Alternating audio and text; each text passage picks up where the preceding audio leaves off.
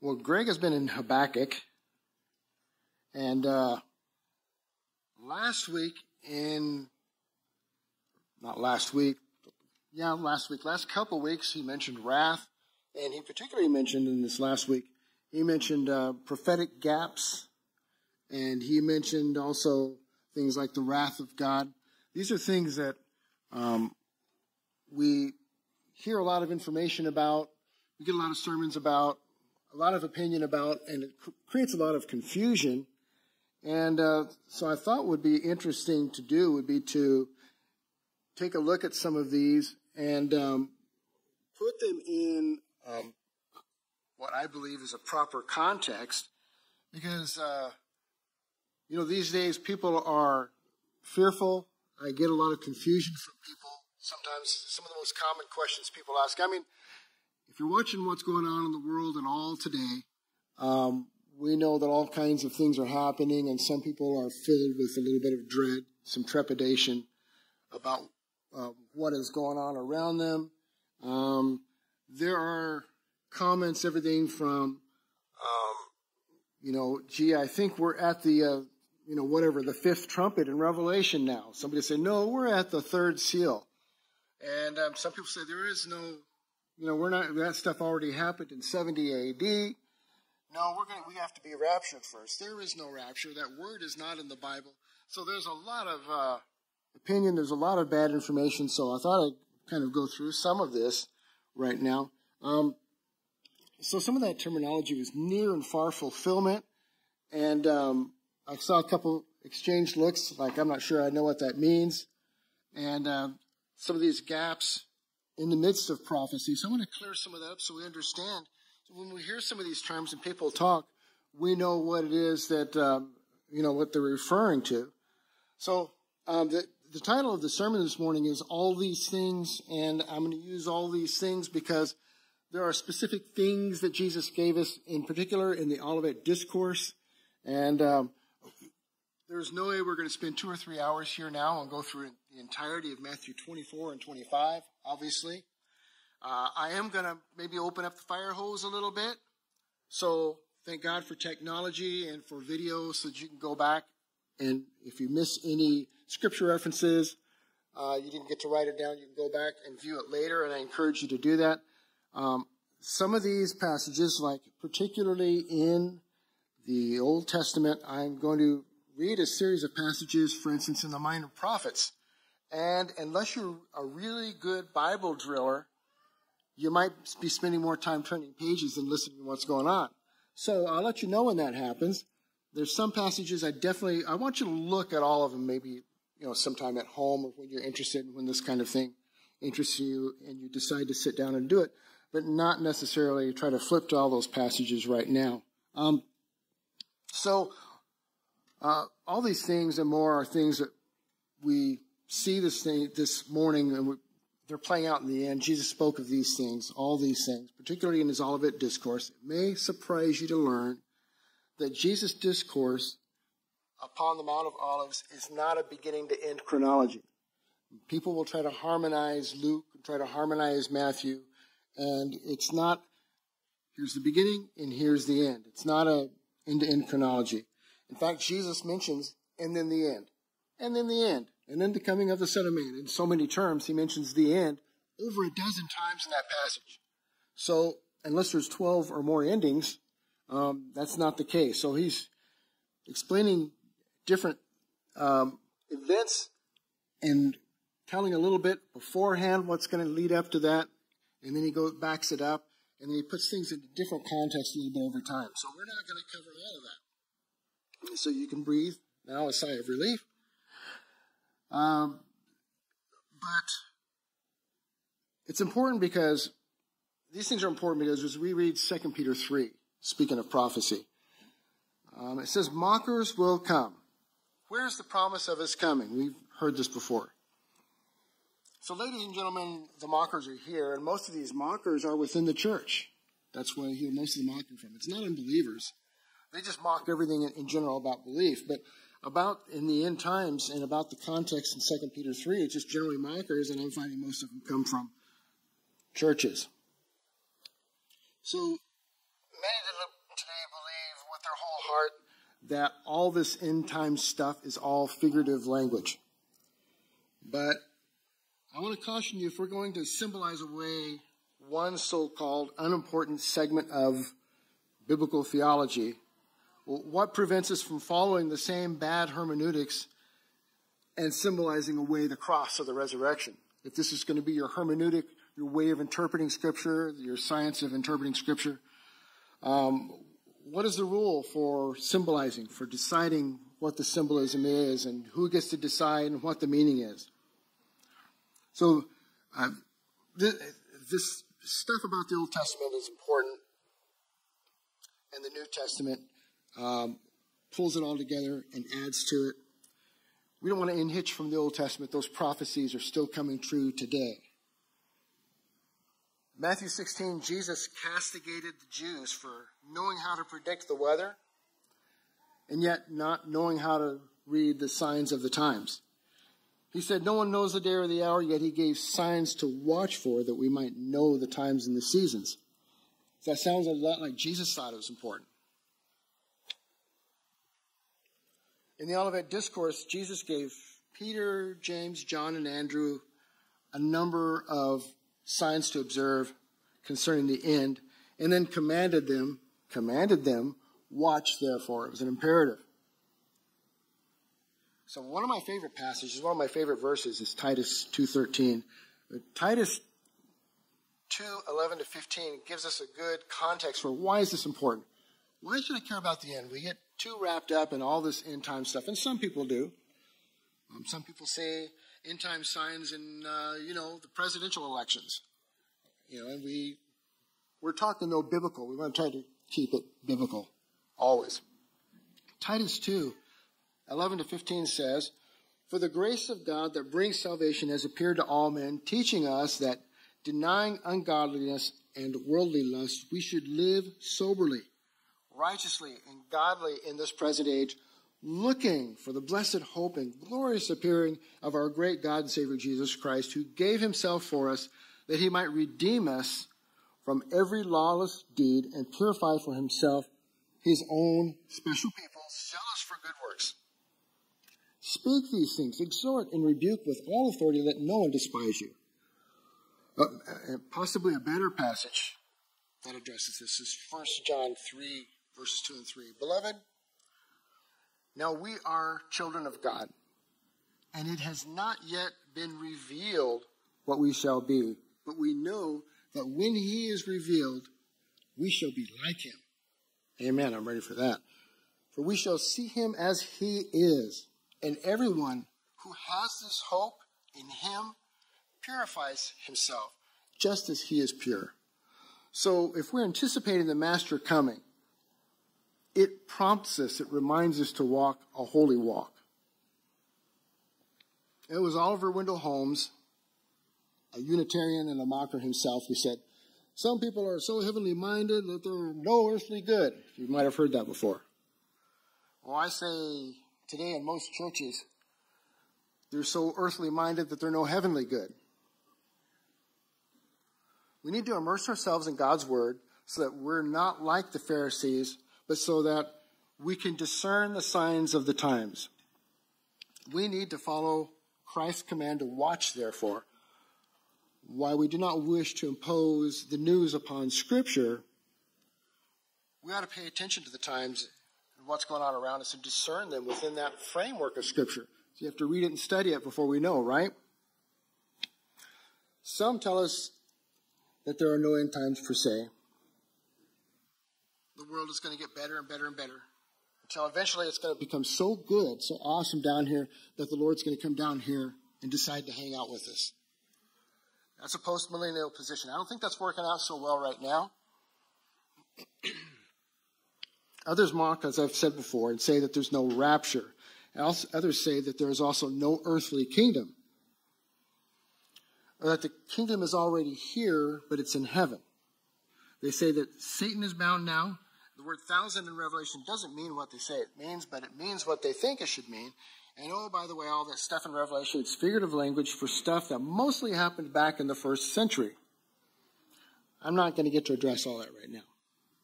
You see me after. I don't recall ever reading in history about over half the world being destroyed. That's what happens in the book of Revelation. So I guess we have to call that metaphor too. All those numbers in there symbolic. For what? Who knows? Who gets to decide? Who decides what parts are the real parts?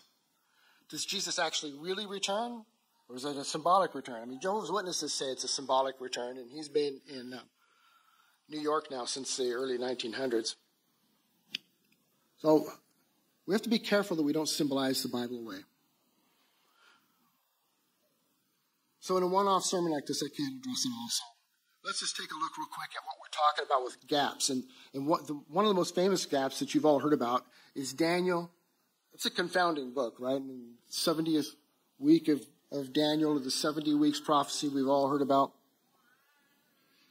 So other than uh, generally the Gentile times, the mystery of the church age, can anyone think of any prophecies from the Old Testament or New Testament that have to do with the end times at all or some big prophetic event that's supposed to happen. We know the return of Christ is supposed to be imminent, right? The next big thing that we're waiting for is the return of Christ.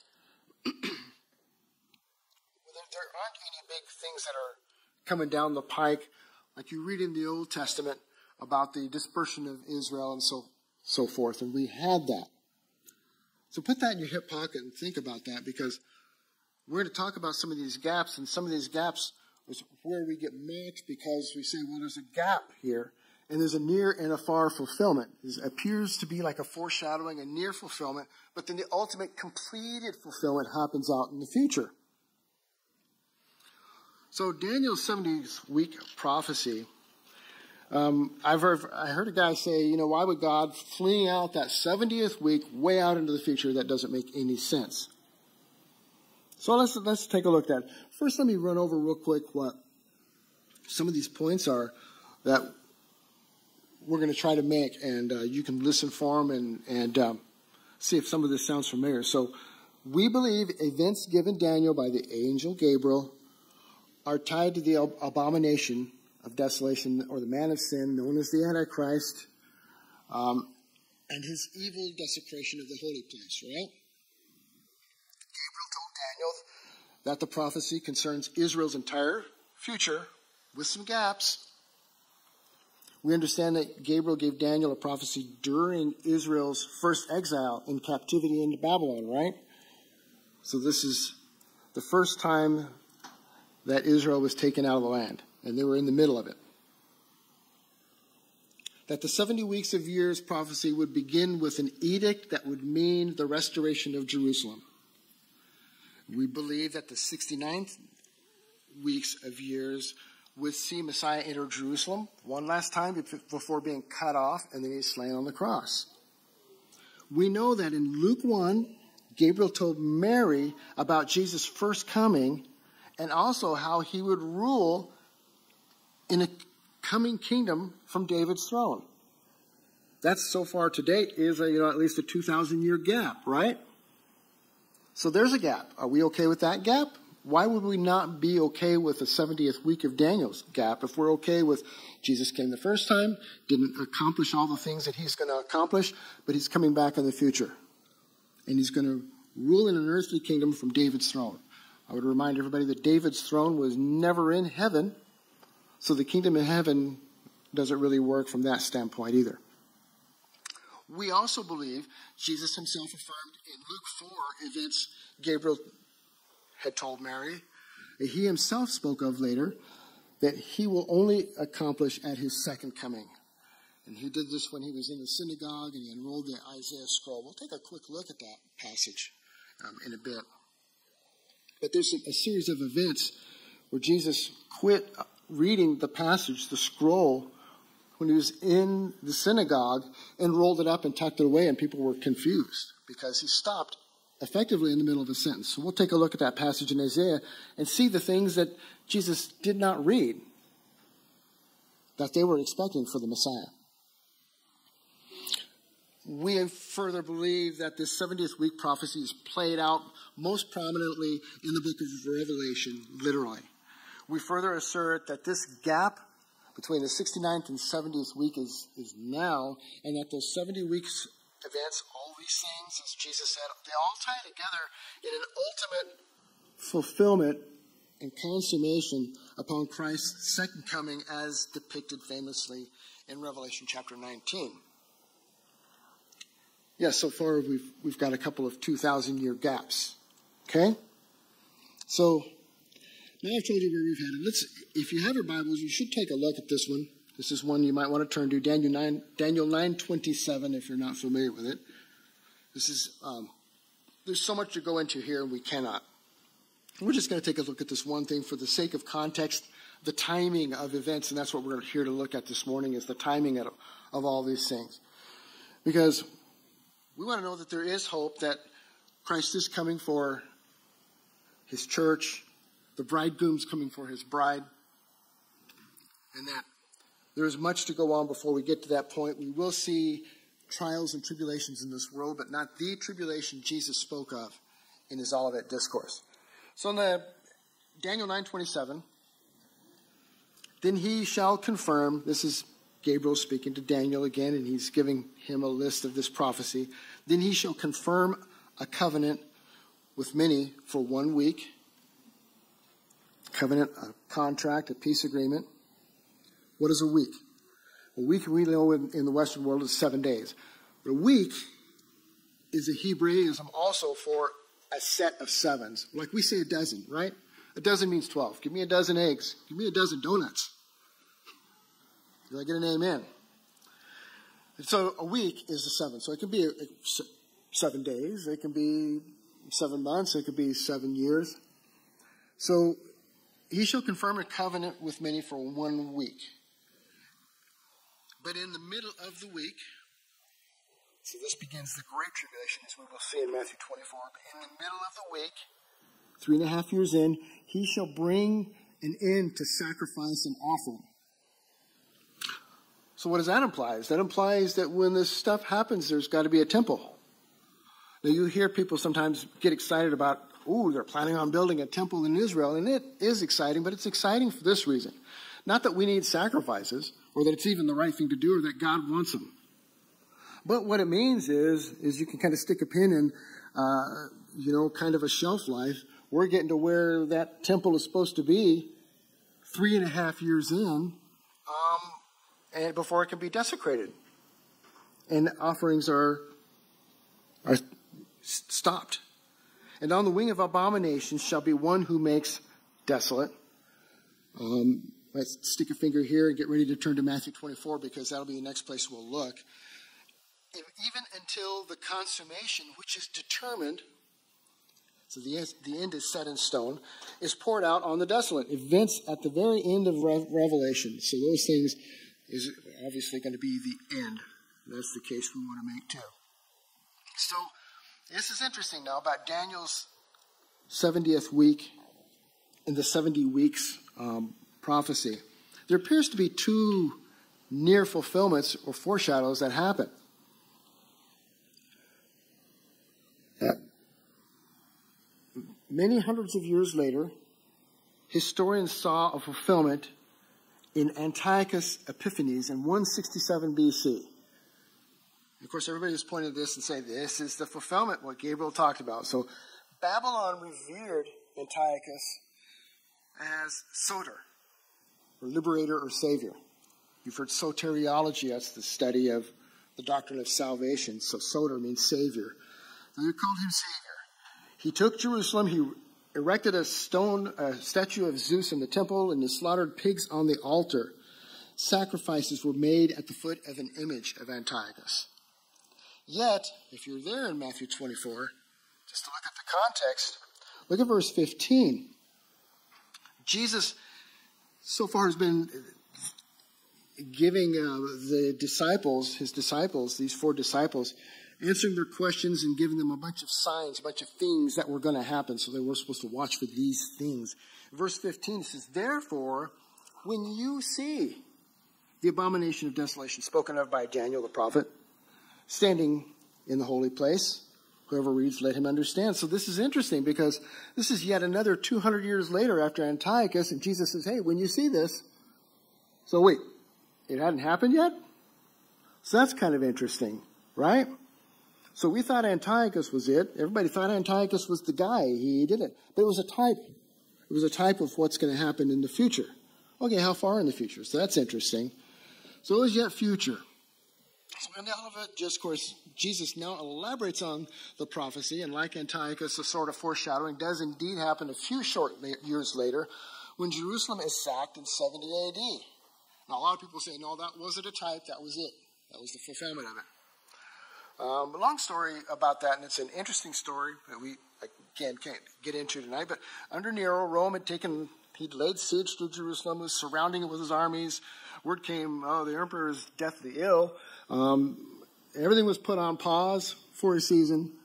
And according to Josephus, a first century historian, the name we, most of us are probably familiar with, the number of Jews who died during the siege of Jerusalem in 70 AD was 1.1 million people. Ultimately, the pause button got taken off, and um, I got surrounded, and they laid siege, and people started starving inside, and it was just quite an ordeal. Again, that we don't have time to go into, but so again, that's by implication, that is for this to be fulfilled, there's got to be a temple in place, and that was the place. It did happen in 70 AD. Did all those things happen? Well, we'll better look at the passage a little bit more clearly. You tell me if those things happened in 70 AD, but we'll get there. So not only does Paul elaborate more on the fulfillment of the abomination of desolation in 2 Thessalonians chapter 2, a passage you should get really familiar with, it talks about Antichrist, it talks about the man of sin, and it talks about him standing in the holy place and declaring himself God. Did that happen in 70 AD? Nobody seems to have, nobody wrote down that, yeah, I saw it happen. Because they were burning the temple down, so that would have been a pretty much a clay oven to stand in and declare yourself God. Yes, this is my burning home. It didn't happen. Okay, but John in Revelation 13 and 14, where we also get the image of the beast, the mark of the beast, all the events around that, all happen in Revelation 13 and 14.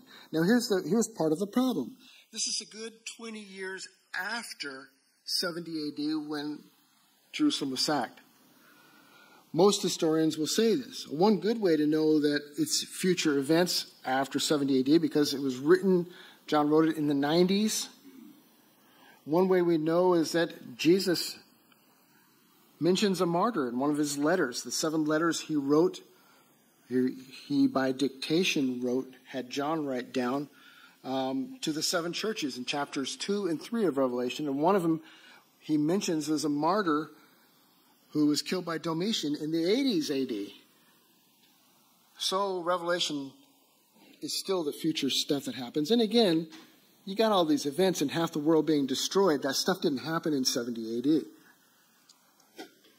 Okay, so then, if you're in Matthew still, and I hope I haven't lost anybody yet, Matthew 24 21, Jesus famously tells his disciples, For then there will be great tribulation at that time. There'll be great tribulation such as has not been since the beginning of the world until this time, nor ever shall be.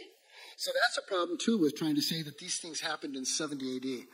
Jesus is saying, hey, this great tribulation, when these events happen and you have the abomination of desolation, this dude standing in the temple, there will, it'll be so bad. There will never, up to this time, have been anything so bad. And there will never be anything so bad afterwards. 70 AD, you got a problem. It only happened in Jerusalem. 1.1 million Jews being killed is bad. But does that exceed the events of World War I and World War II? How many Jews were killed then? So now that brings us up to today and going, well, we're, know, World War One and World War Two as it is. So we got, we're still looking for these events to happen yet in our own future. Make sense? So it's our future. It's yet to happen. I want you to look down a little bit further because he's going to elaborate on this in verse 29. I told you we're not going to go through the whole chapter. Verse 29. As we read, ask yourself if any of these things happened in 70 AD. Immediately after the tribulation of those days, the sun will be darkened, the moon will not give its light. Well, maybe. I don't know. Maybe it happened and people didn't write it down. The stars will fall from heaven, a lot of big meteor shower, a lot of asteroids and whatever else, and the powers of the heavens will be shaken. Then the Son of the Man, Son of Man will appear in heaven. Then all the tribes of the earth will mourn. And they will see the Son of Man coming on the clouds of heaven with power and glory, and he will send his angels with a great sound of a trumpet, and they will gather together his elect from the four winds, from one end of heaven to the other. Did that happen in 70 AD? You got to really stretch and bend and symbolize away a bunch of stuff to try to say, yeah, it happened, symbolically. So I, I don't mean to be unkind and mocking of those who teach that, but you know, we need to stay into the scripture and we need to be consistent in, in the way we exercise our hermeneutic, study the scripture, translate scripture, exegete scripture to understand it. So, while some want to scorn a far flung fulfillment after a 2,000 year gap or okay with a gap here, in, um, they're not okay with a gap here in, in, Matthew 24, about 70 AD, in the second coming, other than um, you know, the kinds of things where Jesus comes back, returns again, that stuff they're okay with, but not that 69 to 70 week thing.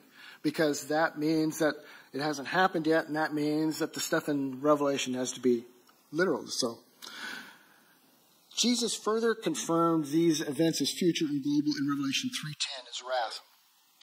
Now you can turn there if you want. It's a great passage, Revelation 3.10. And Revelation 3.10, that's within the context of his letters to the churches. He's written to the church at Philadelphia. And he's talking about wrath, what wrath looks like, because um, there's a difference between living under judgment, living in judgment, and the ultimate wrath of God, the ultimate judgment that's going to come upon the earth. Um, Israel, arguably, they're in judgment right now. They're, um, the Lord has blinded their eyes for a season, as Paul said in Romans 11. We're in judgment right now where we're at. The world is cursed, right? But this isn't the wrath of God.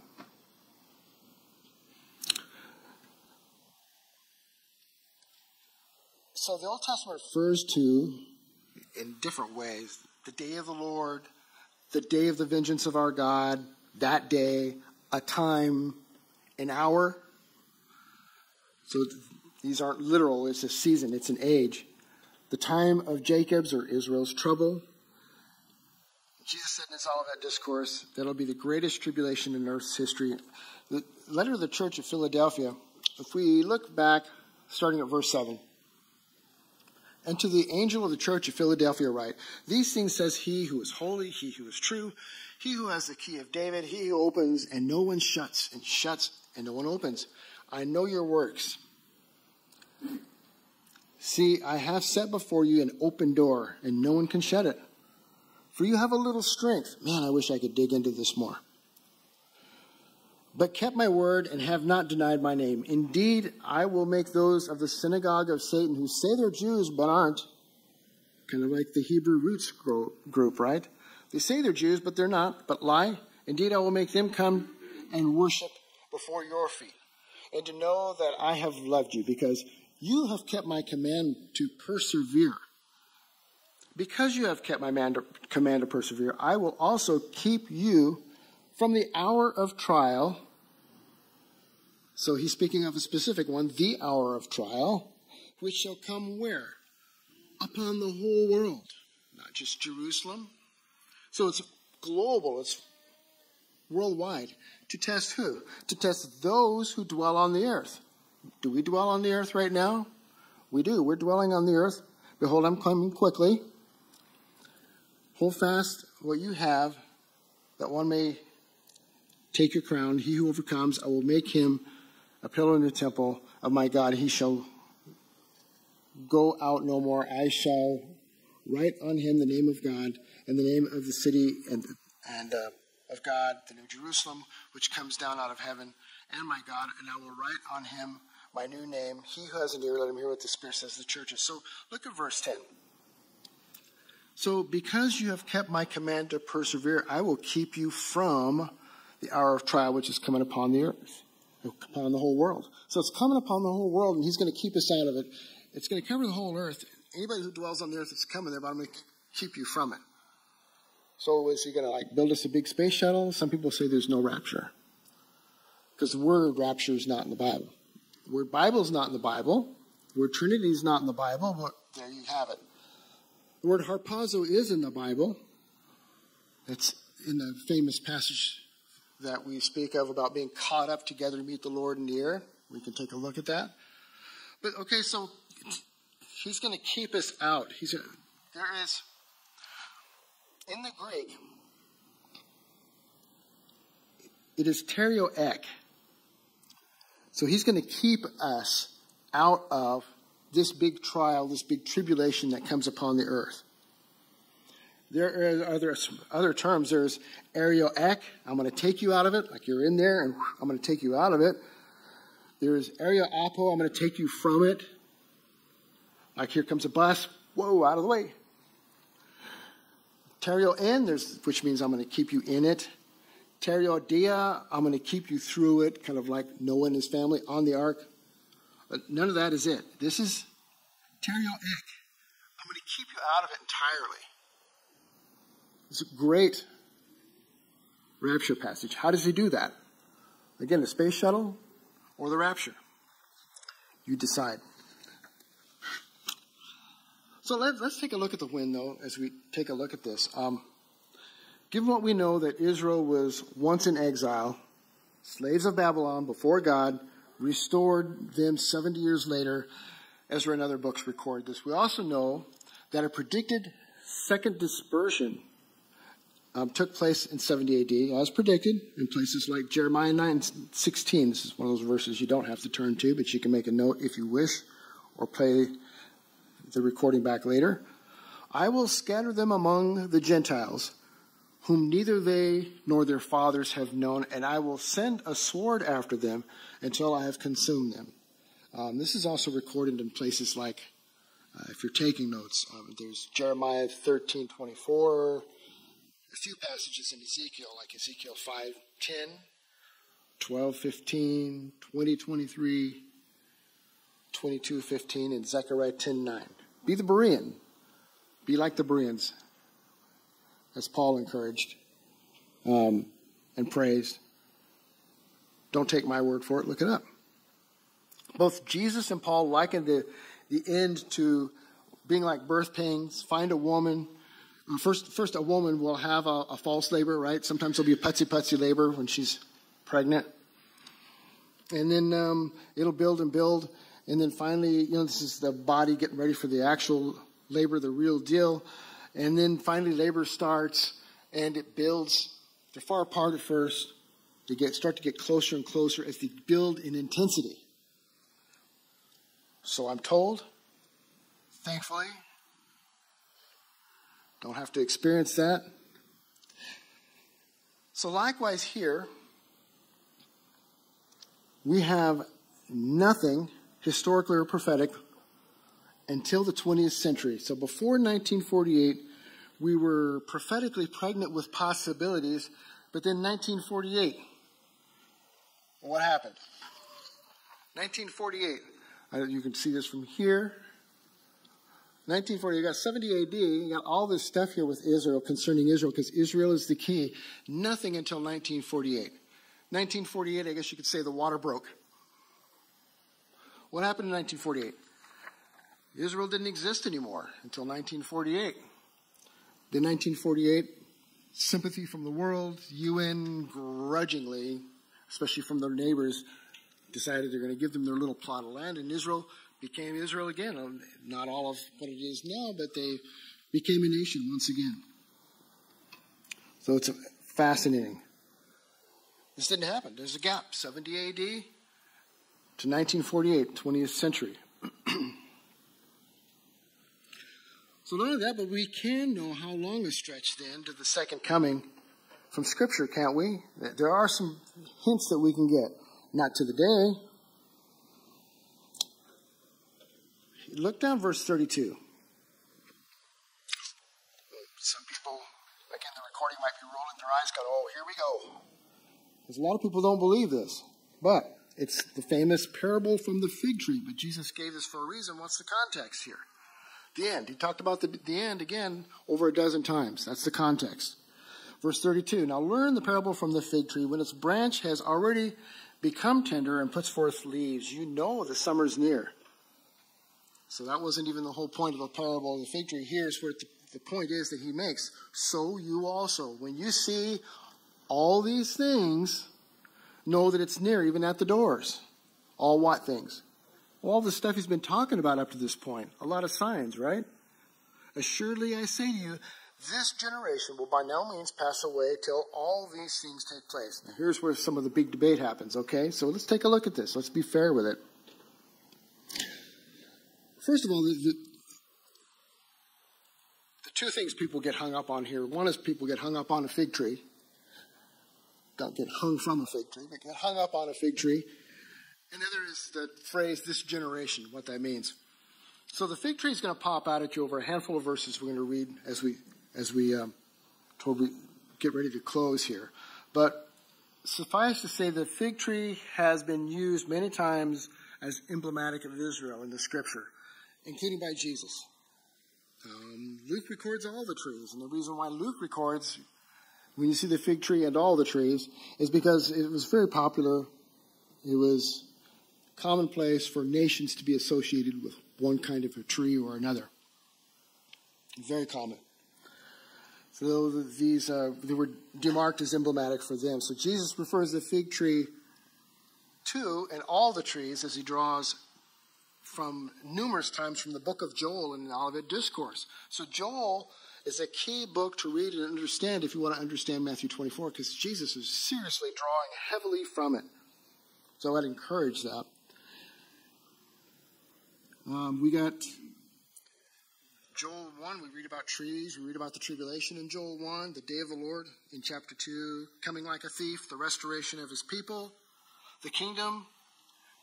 Um, we read about Armageddon in chapter 3. We also read about the sheep and the goats, like in Matthew 25. That's from Joel. And in case you missed that, what I said before, Matthew 25 is a continuation of the Olivet Discourse. It's not just chapter 24, so you got to keep reading.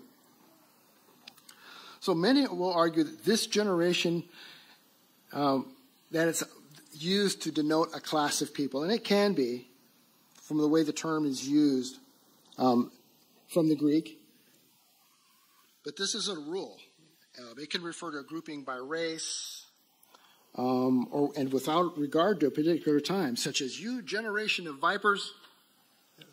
So it's a generation of vipers. So not even necessarily with regard to time at all. It's just a particular people. It can refer to a time frame, obviously, but in every, every case, it's like real estate context, context, context. So we have to use, we can use some process of elimination, and logic is a proper, good hermeneutic, right? Because God is not illogical, so that you can use process of elimination. So many will contend that this generation only refers to the Jews. The reason being that Matthew is a book they maintain that is written for Jews to Jews by Jews. So you could pretty much apply that rule to the whole Bible if you're not careful. So the whole Bible, none of it's about us then, none of it applies to us, and it doesn't apply today. Pretty much the whole Bible is written by Jews, for Jews, and so forth. The only way it'd be unique if that was the case because Matthew is the one book, the one gospel where Jesus mentions church. Matthew 16. Church. So that doesn't quite square. The word generation is from the Koine Greek, genea, and it means a generation. By implication, in age, the period or the person's age, generation, nation, or time. So you got to use context. While some will try to nail down a certain number of years uh, to determine the length of a generation 40 years, 70 years, 90 years, and they all have Bible passages, Psalms, and so forth that will tell you this is how long it is. We have the days of Noah. Jesus mentioned the days of Noah. In Noah, Methuselah, whose very name means roughly when he's gone, it comes, He lived to live longer. He lived longer than any man who had ever lived before or since. So in that case, a generation is last man standing. So Methuselah was the last man standing. So generation doesn't have to be 40 years or 60. It could be the last man standing as Methuselah. And Jesus did say it would be as in the days of Noah.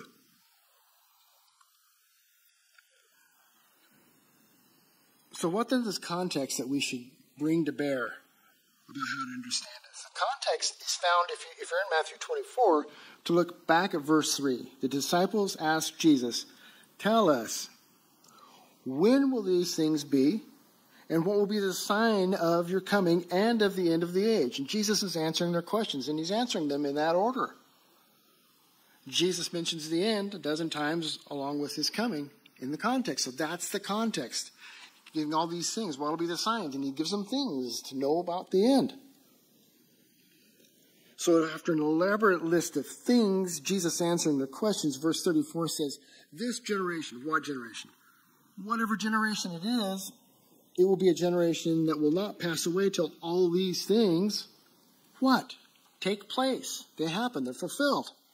Therefore, he's speaking of a generation around at the time of these tribulation things and the second coming take place. So can Jesus be talking about the Jews as this generation? Look again at your wording. Look at your wording carefully. Until all these things take place. Until. That word until is interesting. That means two things. One, whenever these things take place, that generation will not pass away. Therefore, two, it's not the Jews. Are the Jews going to pass away?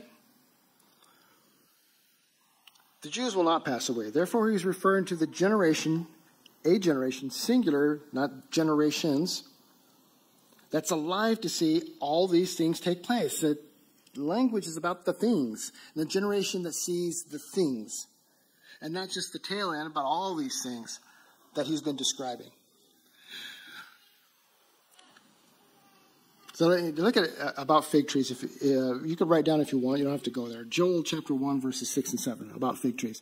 For a nation has come up against my land, powerful and beyond number. Its teeth are lion's teeth, and it has the fangs of a lioness. It has laid waste to my vine and has splintered my fig tree. It has stripped off their bark and thrown it down. Their branches are made of white.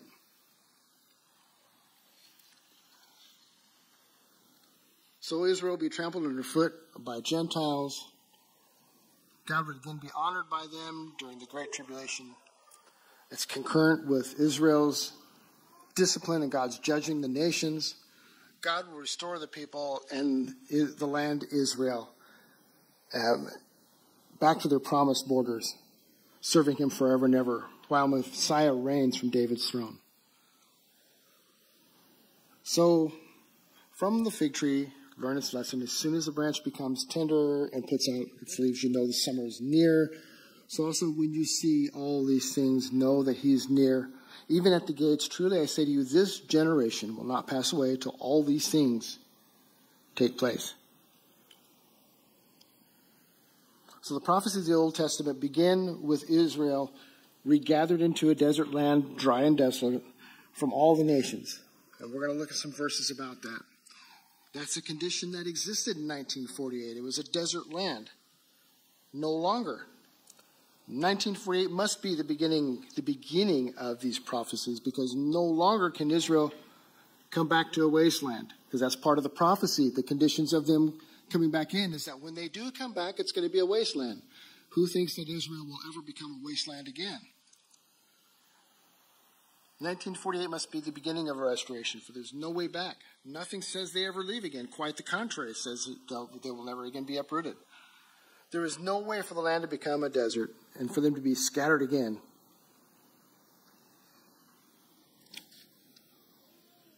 Can this be a repeat? Let's, what does the Bible actually say about it? Because we want to stay biblical, right? And I want you to be Bereans and ask yourselves, well, can it?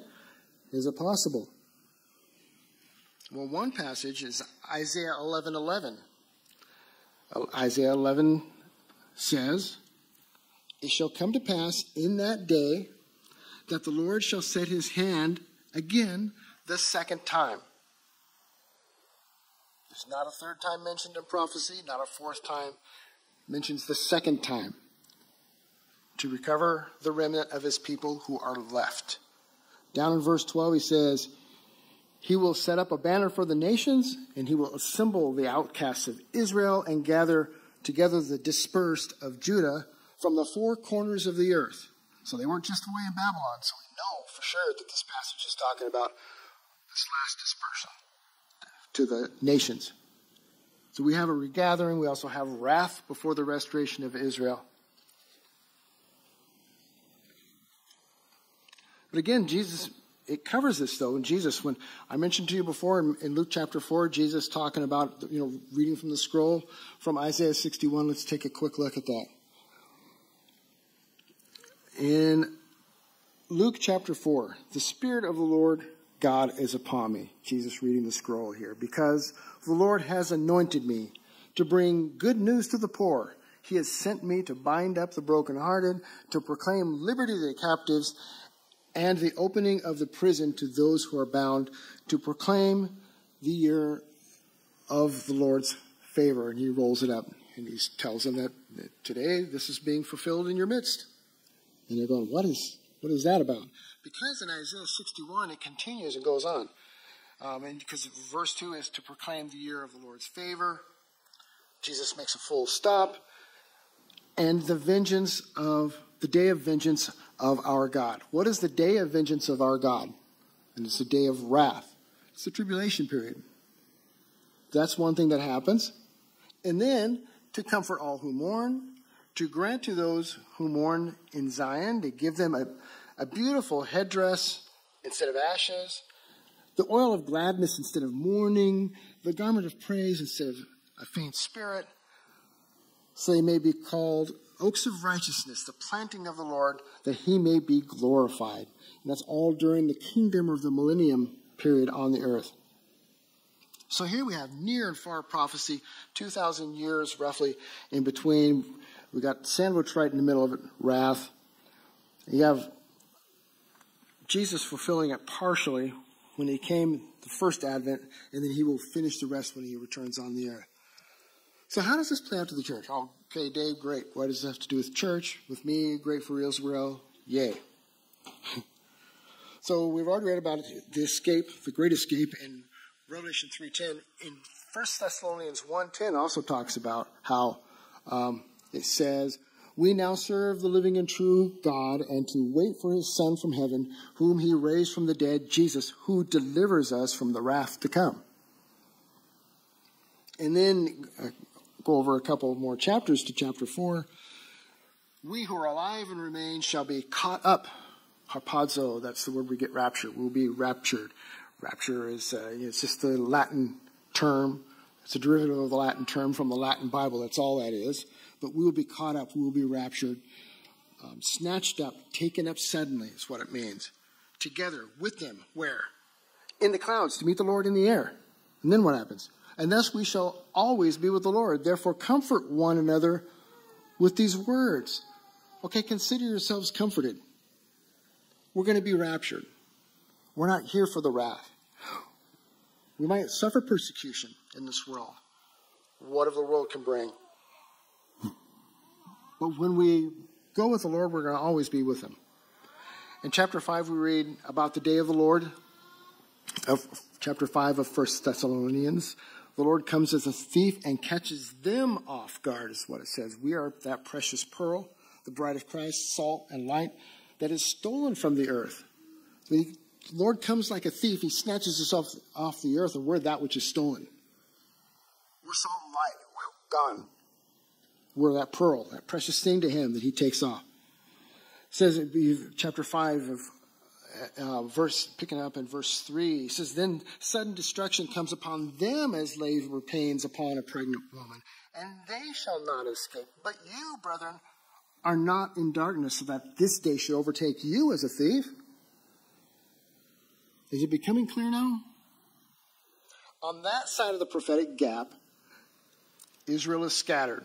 Not to Babylon this time, but to the nations, all the countries. On this side of the prophetic gap, the 70 weeks prophecy resumes. Israel's prophecy to Mary about Jesus resumes. Jesus' prophecy concerning about himself or about um, uh, from Isaiah, all these things written, this generation, these things take place. And Jesus also likened the end to like Noah. The world was living as usual, life as usual. They're marrying, giving in marriage, working, having barbecues, and then it began to rain. Jesus said it's going to be as in the days of Noah. A lot of times we read as in the days of Noah and we think about the wickedness on the earth. Okay, so there's always been wickedness on the earth. But here's a distinction, right? They go on life as usual. And it began to rain. But Noah didn't know exactly when it was going to start to rain, but he probably had an inkling when God started leading the animals onto the ark. Signs, right? It was getting close when God began to walk the animals into the ark. In Ezekiel 36 and 37, the dry bones prophecy, it talks about a dry desert full of dry bones, and God restores the land, the trees, and he fleshes out the people. So we know today because God is walking the animals onto the ark. And it's about to rain. God is walking the Jews back into the land, into what was once a desert, and now it's Israel again, and it's about to rain. In Luke, he records that Jesus also gave the example of Lot as well as Noah. Abraham asked God repeatedly, you know the story, what the number of righteous present would be that would save the city from destruction. You know, God, will you save the city if there's 50 righteous? Well, don't get mad, God. Well, how about 40? Please don't, don't get angry with me. What about, if, what about if there's 30 left? All the way down to this 10. For the sake of 10, righteous? And God said, I'll spare it if there's even 10. So, God will spare his wrath for the sake of even 10. Ultimately, in Genesis 19, when it was time for Lot's family to leave, what was Lot told? Verse 22. Hurry, escape there, for I cannot do anything until you arrive there. Lot was considered righteous. Not by Lot's own doing, right? Not by his own righteousness. We know how Lot was. But Lot lived by faith. We live by faith. It's not our righteousness that saves us. We don't stand in our own righteousness, but that of Christ who has already borne the wrath of God on the cross on our behalf. No, we're not going to experience God's wrath. So, is there biblically any wrath that takes place during the church age? I couldn't find anything. I searched high and low through the scriptures. But there is a time for Israel when they have to endure and see these things and go through these things. It's part of his judgment. So I'm going to read through some passages here. As we wrap up, I'm going to go through several passages here. so please be patient. It'll take a minute, but these are key, and you can write down the references, but just hang with me and just listen to these passages and what they're trying to say, okay? Amos 9, verses 11 to 15, about Israel being regathered. The restoration of Israel is the heading. In that day, I will raise up the booth of David that has fallen and repair its breaches and raise up its ruins and rebuild it as in the days of old. I will restore the fortunes of my people Israel and they shall rebuild the ruined cities and inhabit them.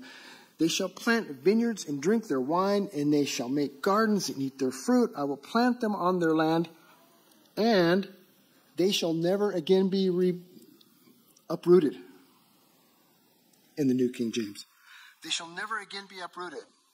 So is Israel going to leave or get kicked out again or go into captivity again and go off somewhere else? No, once they're there, once they're back that second time, Isaiah 11 11, they're there. They're not going to be uprooted. So you see a shelf life to this end time things with this generation. And Jesus saying all these things are within that generation. He, when you're down, the generation that sees all these things will not pass before we see the conclusion of all these things. Ezekiel 30, verses 1 to 3. The word of the Lord came to me, saying, Son of man, prophesy, thus says the Lord God, Wail, alas for the day, for the day is near the day of the Lord is near. It will be a day of clouds, a time of doom for the nations. That's what the tribulation is about. It's doom for the nations, the wrath of God. A seven year period of time, Daniel's 70th week. We will also see that day will include um, into the establishment of the kingdom. And of course, we know what happens after that. So the day isn't necessarily a 24 hour day. It can be, but a day is an age. It's a period. Um, Jeremiah 30. Restoration for Israel. Look at that. Jeremiah 30 sometime when you get a chance. Verse 1 The word that came to Jeremiah from the Lord, thus says the Lord, the God of Israel, write in a book all the words I have spoken to you. For behold, days are coming, declares the Lord, when I will restore the fortunes of my people. Does that sound familiar with what we've already read? Israel and Judah, says the Lord, and I will bring them back to the land that I gave to their fathers. It's the same land, it's not something different. And they shall take possession of it. And then we get the tribulation here. Alas, for that day is great, so that none is like it. It is even the time of Jacob's trouble. It was Jacob. His name was changed to Israel. But he shall be saved out of it.